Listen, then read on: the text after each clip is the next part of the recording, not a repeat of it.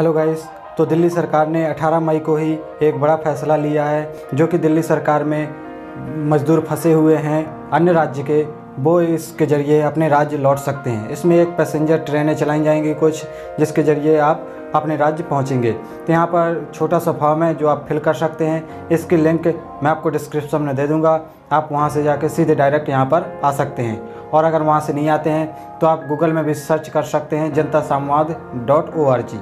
तो इसको भरना सीखते हैं। सिंपल सा है। सबसे पहले अपना कॉन्टैक्ट नंबर डालेंगे। यहाँ पर अपना नाम डालना है। यहाँ पर एज डालनी है और यहाँ पर मेल चूज़ करेंगे। मतलब जेंडर जो है आप। और यहाँ से क्यों जाना चाहते हैं वो चूज़ करेंगे। जैसे माइग्रेंट लेबर यानी कि मजदूर लेबर इसको चूज़ कर लेंगे। और यहाँ से अपना एड्रेस डालेंगे। जहाँ पर अभी फ़िलहाल आप रह रहे हैं। तो आप जहाँ पे भी हैं उसका एड्रेस डाल दें। और यहाँ से अपना ज़िला भी डालेंगे। जहाँ पर आप फंसे हुए जैसे पश्चिम दिल्ली, जो आपके इधर का वो डाल दें। यहाँ पर अपना सिंपल आधार नंबर और यहाँ पर आप जहाँ जाना चाहते हैं, उस स्टेट का नाम, जैसे कि हम मध्य प्रदेश जाना चाहते हैं। और यहाँ पर ज़िला मतलब कि ये ट्रेन जहाँ तक जाती है, इसमें दो ही ऑप्शन है, दमोह और टीकमगढ़। तो हम टीकमगढ़ चूज़ कर लेंगे, ये थोड़ा नज़दीक है।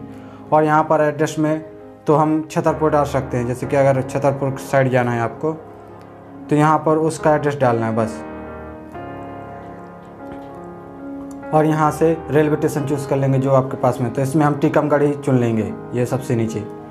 और कुछ नहीं करता, करना है, सिंपल सबमिट पे क्लिक कर देना है तो यहाँ पर लिखा जाएगा कि बाकी की जानकारी आपके नंबर पर सेंड की जाएगी। तो वहाँ पर अपना मोबाइल नंबर वही डालें जो चालू हालत में है, और इस प्रकार से आप अपना फॉर्म भर सकते हैं। कुछ मुश्किल नहीं, बिल्कुल सिंपल है और आप एक ही मोबाइल नंबर से तीन चार लोगों के भी नाम भर सकते हैं। इसमें कोई घबराने की बात नहीं है। तो यहाँ पर आप एक बार में एक ही आदमी का नाम भर सकते हैं। तो इसमें अपना सिंपल मोबाइल नंबर डालें और उस आदमी का नाम डालें। जैसे एक आदमी का हो जाए तो सबमिट करने के बाद फिर वही मोबाइल नंबर डाल के आप दूसरे आदमी का भी वैसे ही रजिस्ट्रेशन कर सकते हैं। तो इसमें बारी बारी से रजिस्ट्रेशन होगा। आप एक साथ चार लोगों के नाम नहीं भर सकते। तो यही एक छोटी सी जानकारी थी जो मैंने आपके साथ शेयर की। उम्मीद करता हूँ आपको अच्छी लगेगी।